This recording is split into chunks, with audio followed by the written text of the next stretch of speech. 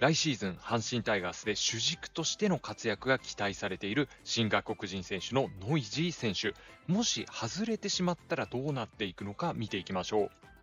ノイジー選手は現状、クリーンナップでレフトを期待されているというところで、阪神タイガースの来季には外せないピースというふうに計算されています。もし外れだった場合、どういうふうに阪神タイガースは戦っていくのでしょうか。来季の阪神タイガースの予想オーダーを見ていきます。1番センター近本選手、2番セカンドでコンバートした中野選手、3番レフトに新外国人のノイジー選手、そして4番ファースト大山選手、5番サード佐藤輝明選手、この4、5あたりはどういう打順になるかまだわからないところはあります。そして6番ライトに森下選手、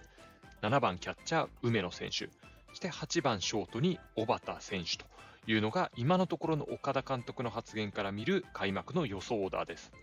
岡田監督は1番、2番に左、左と続いたら3番は右バッターがいいというようなコメントを残しておりますので、おそらく3番になってくるのかなと。そしてポジションに関しましては、おそらくレフトに入ってくるだろうと。まあ、そういった予想ができますので、3番レフトということで、まあ、阪神タイガースの来季の順位を大きく左右するくらい、ノイジー選手は重要なポジションを任されるわけです。そんなノイジー選手がもし外れ外国人ということになったらどうなってしまうのでしょうか？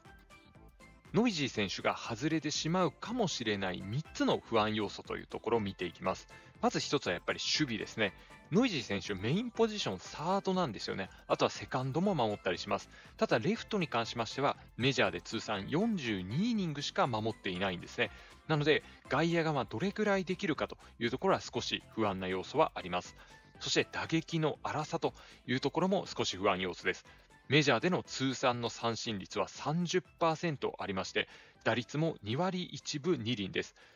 三振率が30%あるにもかかわらず、長距離ヒッターというよりは中距離バッターというところなので、ここは不安要素かなと思います。そして3つ目、日本への対応力というところです。これはノイジー選手に限らず、外国人選手全般的に当たるっていう確率の方がどちらかというと低いわけですね。なので、ノイジー選手が3番レフトで固定できる可能性の方が低いというふうに考えられます。一方、ノイジー選手が当たる可能性もあるという2つの要因も解説していきます。ノイジー選手が当たるんじゃないかというポジティブ要素は大きく2つです。まず1つ目が成長ですね。マイナーでの成長っていうところを見ますと、成績が全体的に上昇傾向なんですね。年によっては下がった時期っていうのも少しあったりはしますけれど、全体的に右肩上がりに伸びています。そしてまだ28歳ですし、メジャーリーグでの成績っていうところで見ましても、2022年が最も試合出場数も安打数もホームラン数も多いというところで、成長があるというところは大きな期待のポイントです。そして変化球の対応力というところも問題はなさそうです。メジャーリーグでは2022年、まあ、いろんなタイプのストレートであったり、少し緩い変化球、あとはま普通の変化球とか、どのボールに対しても打率が変わらないんですね。なので、高い打率ではないんですけれども、どのボールが特段に苦手ということはなさそうです。メジャーリーグでも2022年は89試合出場していますから、中距離ヒッターとして活躍がかなり期待されている選手というところでした。そんなノイジー選手がもし外れてしまった場合の1つ目の選択肢から見ていきます。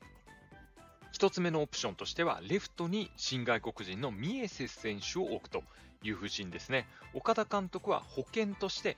本命はノイジー選手、保険がミエセス選手というふうにコメントしています。ミエセス選手はマイナーで通算140本のホームランを払っていまして、2020年2年に大きく成績が向上しています。3A で打率2割7分1厘、ホームラン12本、OPS0.924 を記録しておりまして、3A での数字と数字としては悪くないですね。まあ、ただ、マイナー通算の守備率が9割6分7厘ということもありますし、体型的にも、まあ、動けるような体型ではないっていうことは間違いないと思います。なので、ノイジー選手がもし外れて、ミエセス選手もレフト守ること難しいし、なかなか打率も残らないとか、そういった可能性もあって、共倒れのリスクっていうのもあるんですね。もしどちらも外れてしまったらというところ、次のオプション見ていきます。2つ目の選択肢としては、現在の外野手をうまく活用していくということになると思います。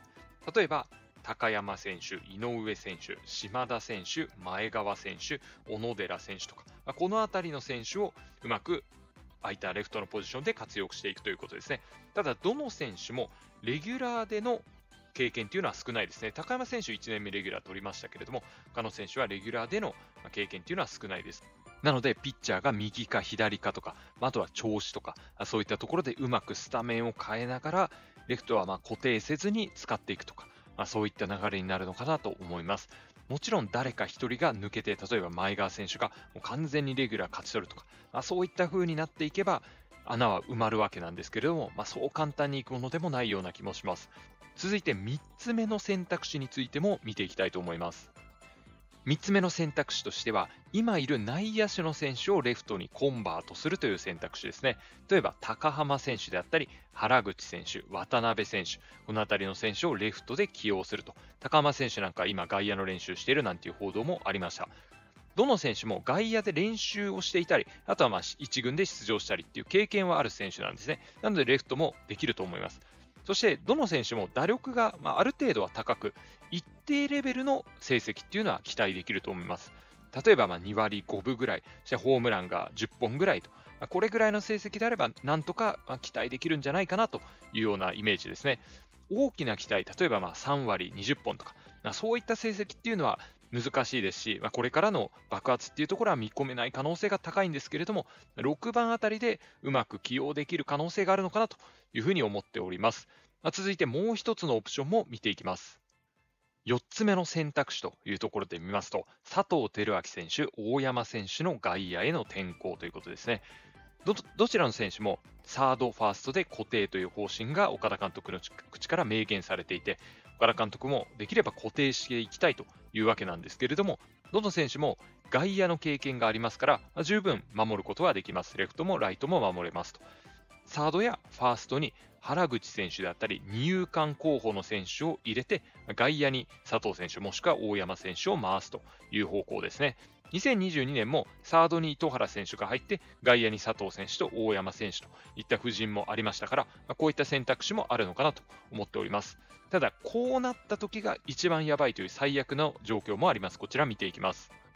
こういったケースも十分あり得るなというところで言うと、レギュラー候補のノイジー選手と、あとは新人でドラフト1位の森下選手、まあ、どちらも成績がいまいちと。そして保険で取ったミエセス選手も守備があんまりうまくないとか、三振が多いとかで、スタメンは厳しいという風になったときは、やっぱり佐藤輝明選手と大山選手、両方のコンバートが必要になる可能性があります。もしくは、レギュラー経験が少ない外野の今の選手たちで両翼を固めなければいけないというケースもありまして、こうなってくるとかなり打力の面は厳しくなってくるのかなという印象でございます。ノイジー選手、そして森下選手も含め来季の活躍期待しております。以上です。